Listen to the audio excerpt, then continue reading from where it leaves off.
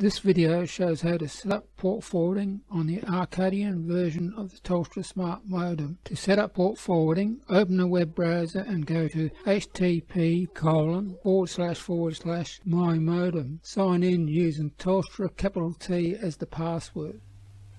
Before setting up port forwarding, you first will have to set a static IP address for the device. To do this, go to Advanced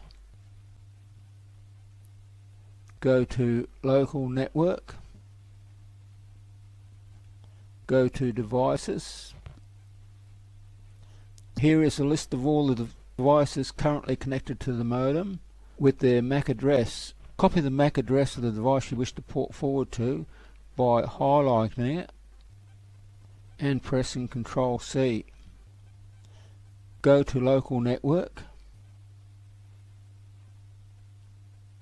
paste in the MAC address by pressing Ctrl V. Enter the name of the device. Enter the IP address of the device. The IP address doesn't have to be the same as the existing IP address but it has to be within the IP address range of the modem. Select add and then select save Next, go to Firewall. If you want to set up the device in the DMZ, go down to DMZ and place a tick next to Enabled. Enter the IP address of the device and select Save.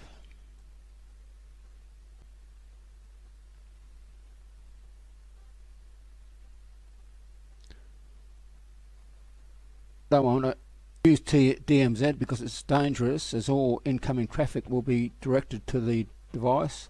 So I'll remove that. Next go to port forwarding.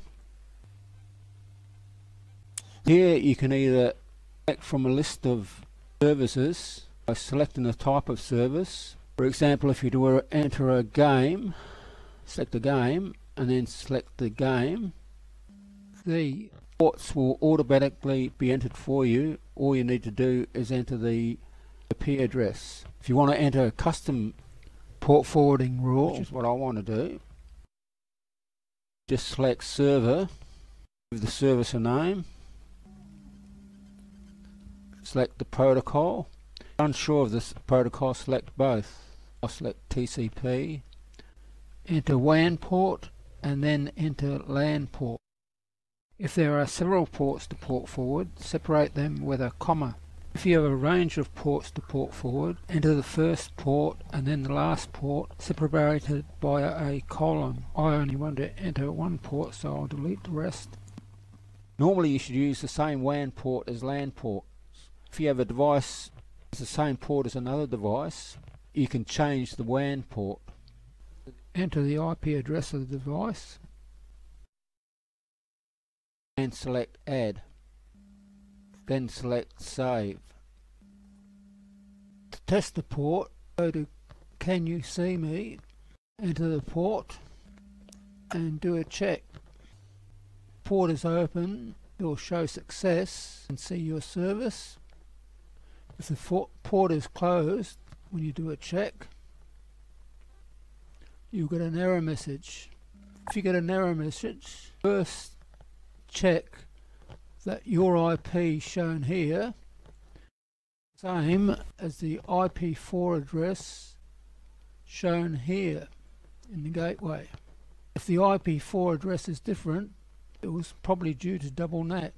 Double NAT can be caused by either carrier grade NAT or due to the fact that the Telstra modem is placed behind another modem or router. The only solution to carrier grade NAT is to change ISPs. Double NAT due to the Telstra modem behind another modem or, or router can be fixed by either removing the primary modem router and connecting the Telstra modem directly to the internet source or by setting the Telstra modem in the DMZ of the primary modem or by bridging the primary modem. If the IP4 address is the same then the port is probably closed on the device.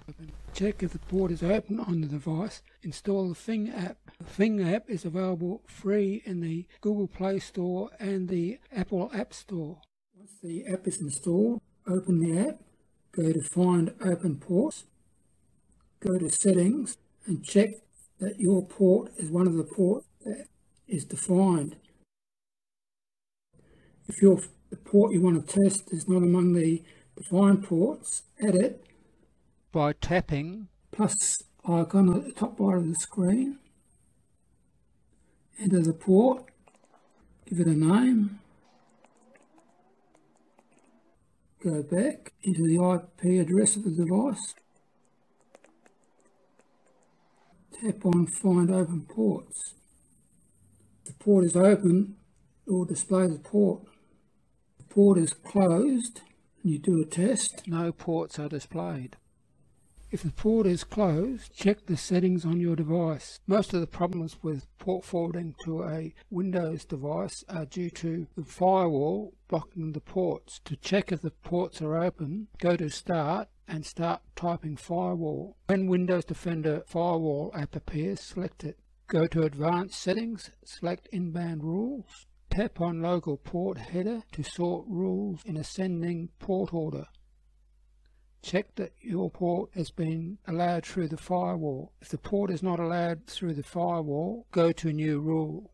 Select Port and then select Next. Select the protocol and then enter the port. If you want to enter a number of ports, separate them with a colon. If you want to enter a range of ports, enter the first port and then enter a dash and then the last port. I only want to port forward 8085 so I'll delete the rest.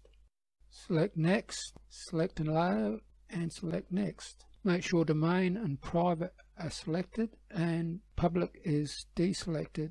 Select Next, give the ruler name and then select Finish. Tap on port header to check that your port has been added to the Windows firewall rules correctly. Hope you've benefited from this video.